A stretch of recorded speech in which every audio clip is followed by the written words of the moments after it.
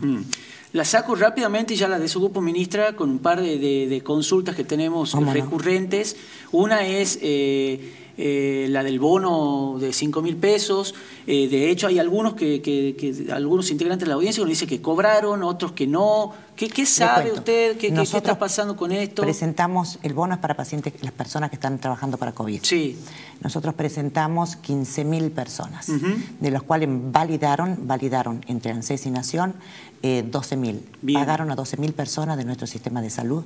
El bono ya lo cobraron personas que eh, se han comprometido en trabajar en COVID si los necesitamos y personas que ya están trabajando en COVID. Claro. Es decir, Tucumán ha sido una de las provincias que más hemos puesto a disposición a la gente para trabajar entonces, en COVID. Quizás hay una confusión entonces con eso, quizás eh, algunos agentes del, del, CIPROSA entendieron que era para todos, ¿puede ser? no, no, no, Había, había un compromiso, había, no era una libre disponibilidad, como dicen por ahí. Claro, por eso es que también hablan de eso, que se no tiene una, libre disponibilidad. Era una declaración jurada de que nosotros, ante situación de emergencia, nos comprometimos. Yo les digo la verdad, en realidad estamos todos comprometido a trabajar. Mm. Firmemos no una declaración jurada, porque es nuestra obligación, es nuestro deber y nuestra función. Mm. Y nuestro deber y nuestra función, así seamos médicos, gastroenterólogos, endocrinólogos, lo que seamos, yo ginecóloga. ¿Por qué? Porque ante todo somos médicos, médicos mm. clínicos y podemos tener clínica. Y esto es una patología clínica, respiratoria. Por eso capacitamos todo el recurso humano en la parte respiratoria, porque si ante una emergencia, ante esta pandemia y ante muchos pacientes vamos a tener que trabajar todos. Claro, es lo que está pasando en Buenos Aires, de hecho. Los profesionales de cualquier, eh, sí, de cualquier especialidad están eh, con, la, mirada puesta en COVID. Yo tengo una amiga que trabaja, tiene un centro de estética en, en España, sí. particular. La llamaron del sistema de salud que tiene que hacer dos guardias para atención de COVID, aunque sea privado. ¿Y ese sistema está previsto acá en Tucumán en caso de que sea necesario? Ojalá no lo sea. Le pregunto. nosotros estamos previstos de que gente que hoy no está trabajando en COVID se quiere trabajar en COVID en caso de que lo necesitemos. En realidad, vamos a tener que trabajar todos si es mm, necesario. Claro. Pero bueno, tenemos gente de primera línea, de segunda línea y de tercera línea, mm. porque tenemos que pensar también que estos, estas personas pueden contagiarse y tener que bajar la primera línea y seguir con la segunda línea. Nosotros estamos preparados, hemos capacitado más de 16.000 personas, público y privado, en todo lo que es manejo de vía aérea superior y respiratorio, pero como yo digo, ante todo somos médicos. Con respecto al bono, quiero aclarar que Tucumán ha sido la provincia que más gente ha puesto a disposición para el tratamiento del COVID, que han sido 15.000 mm. Otras provincias han puesto 5.000, otras 800, y en Tucumán han cobrado 12.000 personas. Mm, bien. 12.000 personas. Lo cobraron, Lo cobraron, lo cobraron ya. 3.000 no lo validaron desde el ANSES. Claro. Estamos investigando por qué, porque son las áreas operativas que tendría que el centro de atención primaria no lo toman, sino tiene que estar adherido a un hospital. Claro. Eh, entonces el área Yerba Buena, Tafi Viejo, algunas áreas hemos tenido algún inconveniente, pero quedaron tres, solo 3.000 personas sin cobrar. Mm. Es decir, que hoy por hoy cobraron en Tucumán 12.000 personas de las 15.000 que mandamos para, mm. para el COVID.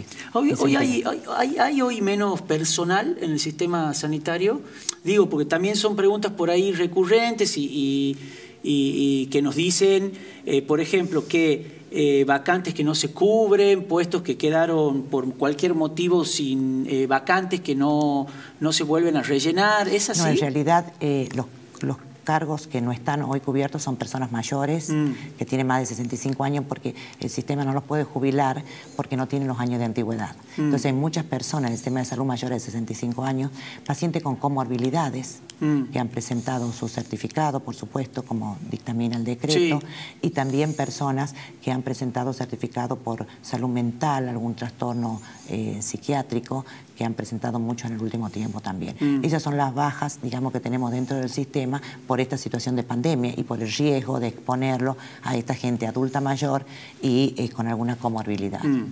Hay una marcha importante de citas hoy, va, que se espera que sea importante, con un reclamo que tiene que ver con lo salarial, eh, que tiene que ver con esta misma cuestión que le preguntaba recién. ¿Qué, qué, opina usted de esto, de, esto que están planteando? Eh, yo creo que este, toda mejora para el trabajador es bienvenida, mm. pero en Tucumán en Tucumán, gracias al esfuerzo del gobernador Juan Mansur, es una provincia que está eh, entre el quinto al sexto mejor pago a los médicos. Pero no mm. digo que sea bueno o malo, comparándonos con el resto de la provincia. Es una provincia que paga en tiempo y forma, eh, los primeros días de cada mes. Nosotros tenemos el depósito del 20%, no sé si usted sabe, antes, el día 30 tenemos el 20% y el 80% en los primeros 10 días. Salud ha pasado a cobrar dentro de los primeros 10 días, que es uno de los reclamos que hicimos conjuntamente con los gremios.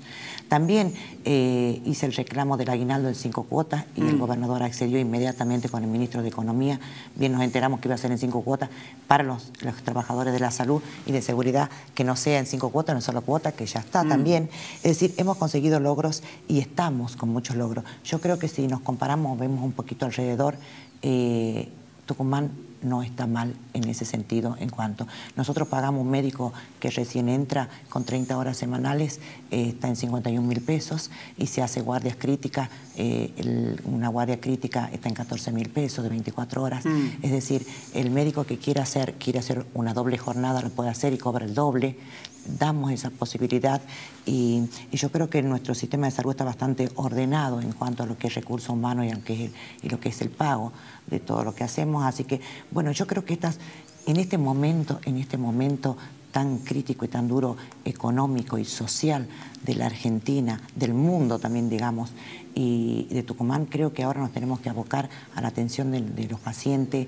a poder tener estrategias este, que puedan mitigar esta pandemia y esta, y esta situación tan terrible que estamos viviendo todos en el mundo entero. Mm. Así que bueno, yo creo que este es el momento de, trabajar, de, juntarnos, de poner, tener estrategias conjuntas y, después tendremos tiempo para todos, como yo mm. digo. Gracias, ministra. Muy amable. ¿eh? Gracias a usted. Hablamos con la ministra de Salud de la provincia, con Rosana Chala. Vamos a hacer una pequeña pausa. Enseguida volvemos.